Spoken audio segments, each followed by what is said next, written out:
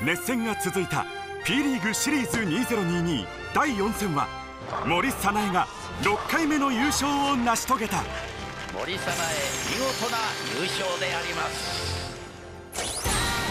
続く第5戦に出場するのはこちらの P リーガーたち。なお小泉と久保田が本人の事情により欠場となったため今大会は16人で争われるシリーズチャンピオン決定戦の出場選手が決まる第5戦。激闘の結末を見逃すな。1年間5大会を1シリーズとしそのシリーズの成績上位3人でシリーズチャンピオン決定戦を行い年間チャンピオンが決まります。シリーズの出場選手は総勢24人。その中から上位3人を決めるのはポイントシステム。各大会の1回戦準決勝決勝戦で順位に応じてポイントが与えられます。シリーズチャンピオンに贈られるのは賞金300万円。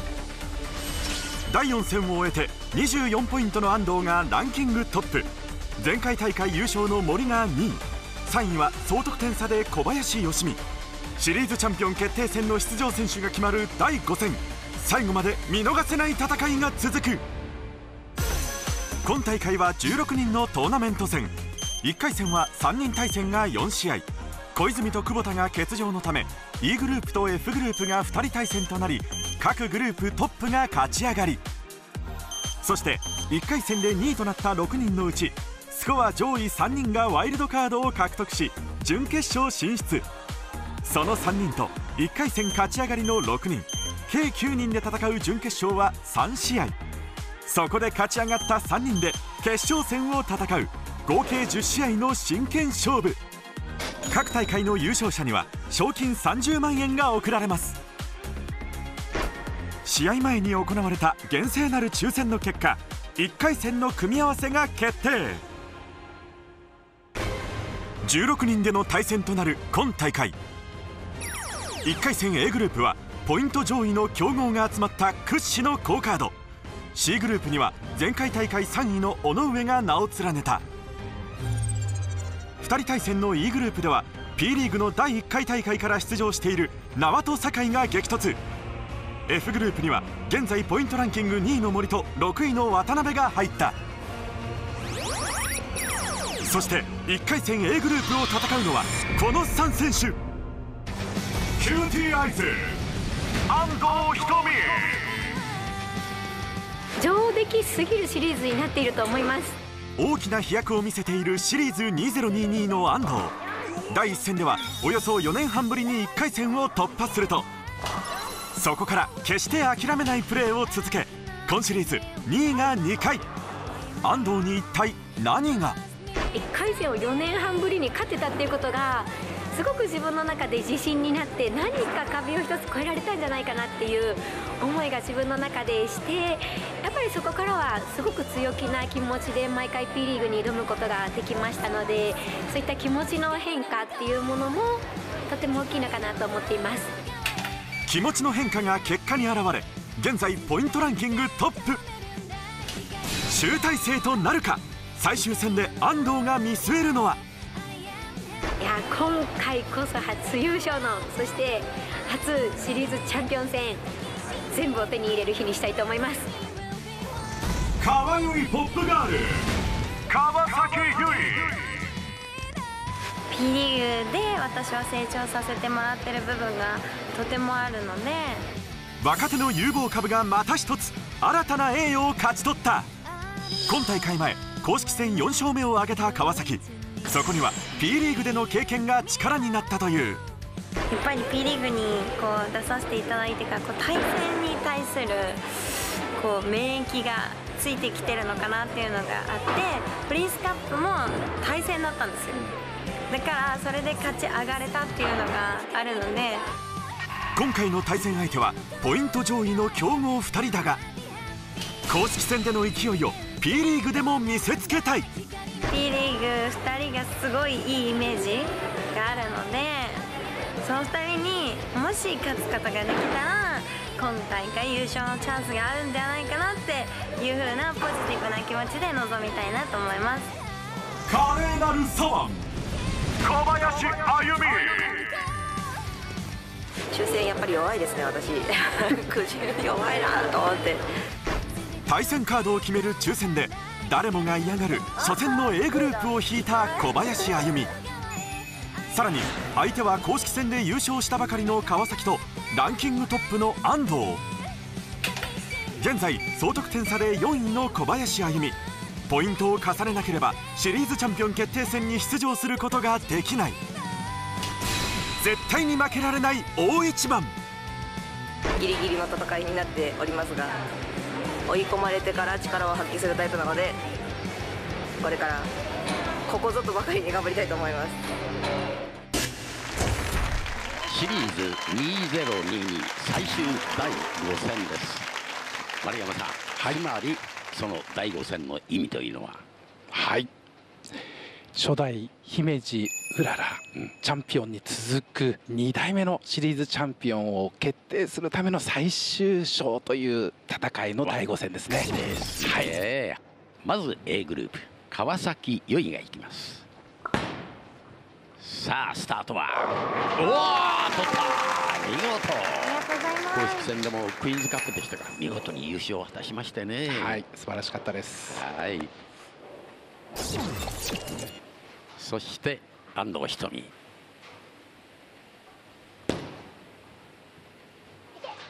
うわこれも来た。おやおやいいスタートを切ります。そうですね。このシリーズランキングでは現在1位の安藤ですね。そうなんですよね、はい、現在24ポイント。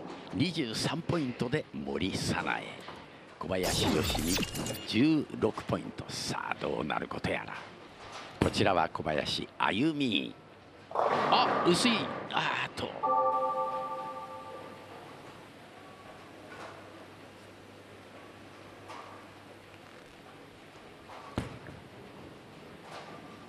さあ10番ピン取りました。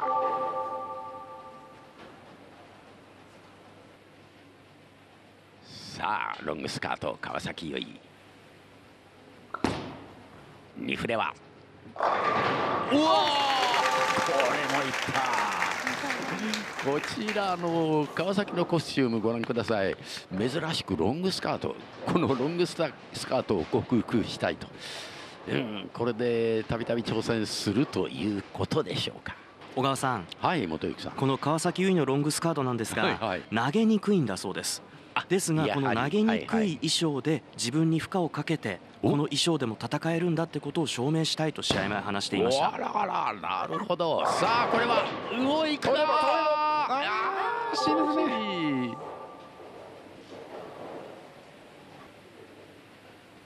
さあ小林は1フレスペアでした。左に移ってこれもちょっと薄い。あーっと9本までいったこれはラッキーでしたね9本までいったのは。一番慎重に入っているのが小林歩みみたいですね。薄め薄めでの部分でスプリットが出ないようにスプリットが出ないようにっていう形での戦いを今してますよ。慎重にと見ていいんですか？あれあれあれあれあれ。うわ痛い。安藤瞳が落とした。安藤は今あの一生懸命1投目のストライクを出すためにものすごくリストワーク、フィンガーワークを強くしてるんですね。そうはい、それが2投目のところはいらないんですよ。1本だけですので、はい、それが出てちゃいましたね。あらあらあらこれははい大丈夫です。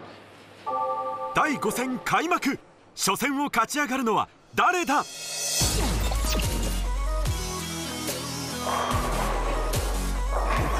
おわ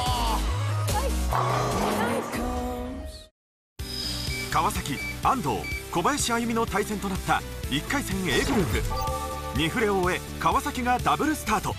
ゲームは第3フレーム。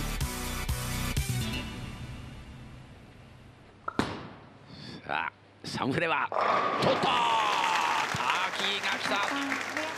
川崎優衣の投球見てますと非常にあの勢いがある強いですからピンの弾けが速い、まあ、スカートの影響もあって今100%フルではないですよね。まだ。はい。7割ぐらいですかね。あらあら。はい。さあ挽回したい。安藤瞳これは取っておきたい。来ました来ましたこれがキハーツの成果が出てるところですよね。今までは天品タップ多かったですからね。あそういうことですか。はい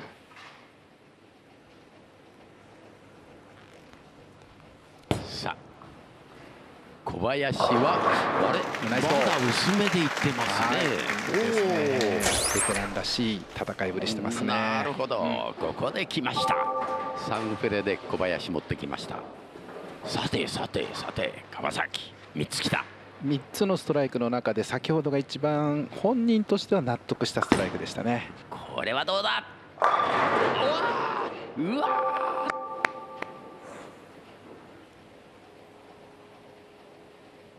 さあミスの後ストライクが来まして。これはどうだ？はい。はい。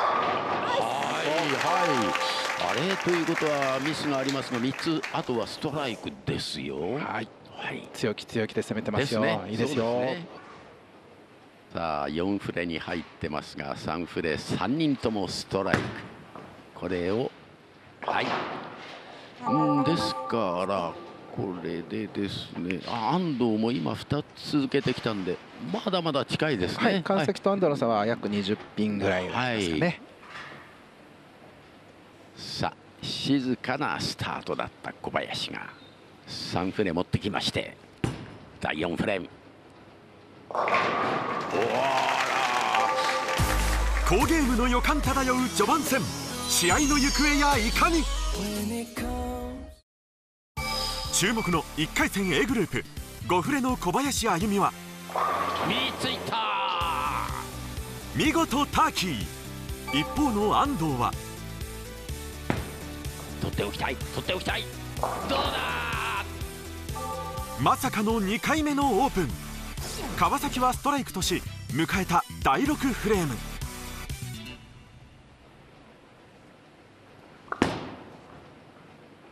ここも。いやいやいや A グループすごい。克服してますよねスカートね。なるほど。そうですよね。はい、はい、見事闘志満々のそれぞれの三者三様の投球内容もありますけど、はい、コスチュームというかユニフォームも素敵ですよね、はい、なんかサッカーで言えば今日安藤はクロアチアみたいな感じですよね。はいはいはいさあ、はい、ここは思い通りに行きました。さあこれから挽回に入りますえー、あと小林も投げますがこれまで3人でストライクが12ですよ。素晴らしいですね。さあ。おおすごい6プレで3人で13個目のストライク。全く並んできた中で川崎取れない止まりましたね川崎が。ですね。いやこの2人の戦い一歩遅れてはいますが安藤がどう伸びてくるか。5フレで言いますと128ピン川崎。83ピン安藤がさあダブリダブってきたか。ラッキーです。ラッキーです。これでまだいけますね、はい先は1本残っている。10番ピンをはい。完璧です。はい。いや大接戦大激戦になっています。ポイントを取ってさあ最後のチャンピオン決定戦300万円獲得の戦いに出られるのは。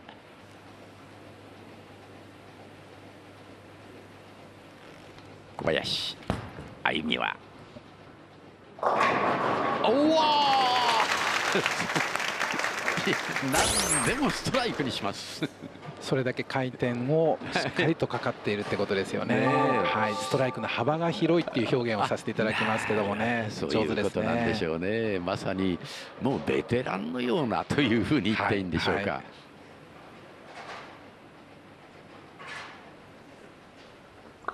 さあ川崎あれあれ。追いかける立場に変わりましたのでですね。少し力みが入ってきましたよね。はい、安藤は次、はい、さっきのラッキーストライクを生かしきれるかですね。もうストライクを続けていかないと間に合わないので、はい、はい、現在ポイントトップの安藤が意地を見せる見せる見せる。はいただあのそのポイント上位3人での戦いということになりますと安藤がもし落ちても24という数字はいかがですか？100%安全っていうふうには表現できないんですけども。でも本人不満足だと思うんですよね。でしょうね、はい、そうでしょうね、はい、投げていたいですしね、はい、やっぱり。そうなんでしょう。はい別の言い方しますと小川さん、はい、安藤はですね1位というよりも2位狙いでのスコアのことも今頭の中でですねそれもありますね、はい、ワイルドカードのこともよぎってると思いますよ、はい、さあ5つきました。おとなしく投げた。ああとうとう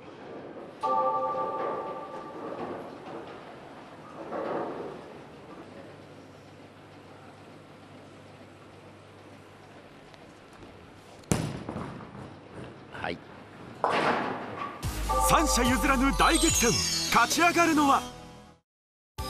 1回戦 A グループは8フレを終え小林歩美がトップ。ハイレベルな戦いは終盤第9フレーム。まず川崎。さあどうだ？よいしょ。さすがです。最後に7番ピンがピンアクション、はい、ただこの川崎にとっては優勝すると現在7ありますから18まであります、ね、そうですね。もうそこの視野は入ってると思いますけども。そうでしょうね、はい、さあ一方のポイントトップ安藤が遅れを取りましたが今3つ来て4つ目4つ目さっきミスしたレーンでしたからね。あそうでしたね。はい。ナイスリカバリーですよ。それでも233止まり。そうなんです。川崎をそれを後ろから追いかけてるの知っているので確実にストライクものにしてきました。そう,、ね、そうすれば240点以上狙えるっていうのを分かっているんですよね、ね、さあ小林はどうか。薄めから取れたこれで川崎小林ともにストライク。続けられるかどうかですね。はい点プレ勝負です。小川さんここ川崎1投目もし9本とかの部分になりますと220点台ですから安藤に逆転を許すこともちょっと入ってますよ。うわ。さあどうだ？来い。うわあれうわ非常の8番ピンこれで、安藤に委ねられるところまで来ました、はい、安藤チャンスが見えてます。2位狙いのチャンスも含めてです。そうなんです。1位も入ってきます。まだまだあります、うん、はい。さあまだ、はい、すごい。来た来た来た安藤が苦しんだ前半からあと2つきますとそうですね。これ小林がプレッシャーかけられてますよね。そうでしょう。はい、さあ川崎の方は、はい。ちょっと心中穏やかじゃないですよね。227止まりになりますよね。ストライクを全部最後持ってきてもですよ。はい。安藤もう1個持ってくると230点台が見えてきますよ。ただ9本ですと220点台ですので、下1桁が3、川崎は7。ここが大きなウェイトを占めます。さあ安藤。力入ったな。2つ目は？来ましたよ。来ましたよ。あらすごい。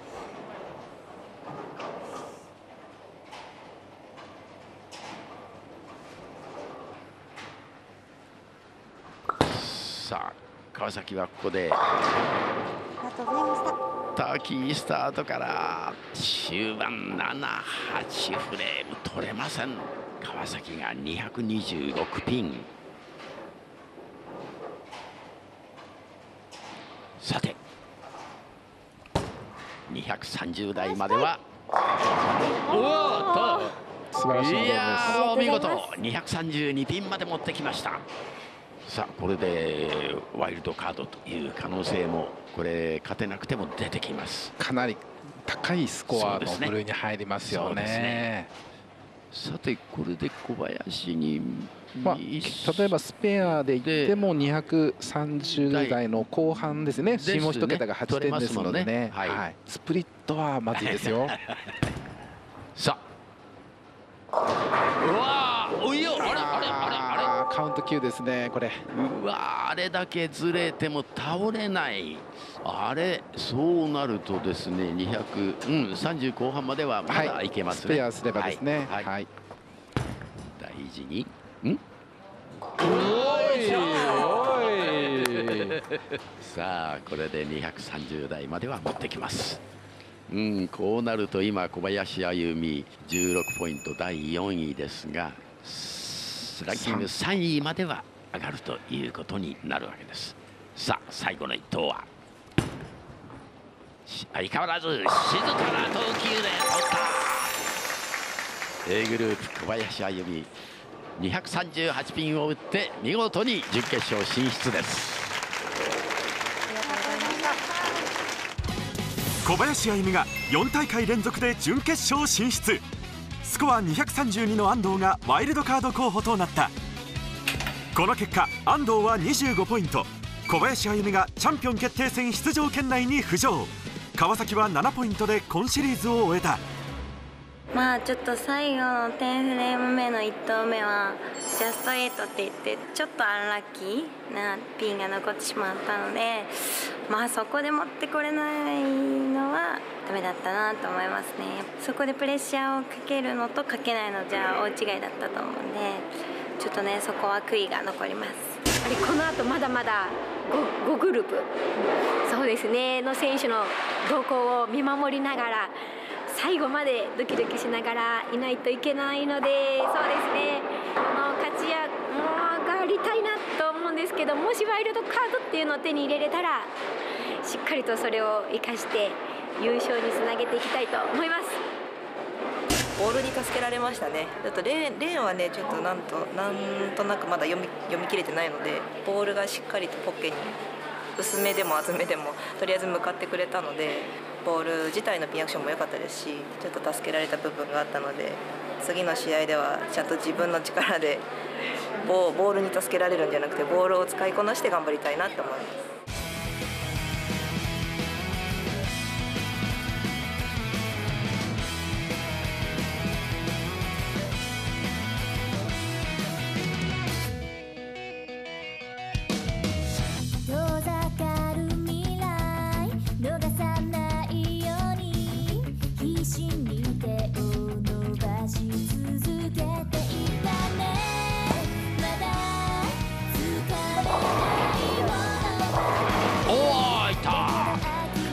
林よしみ取りました。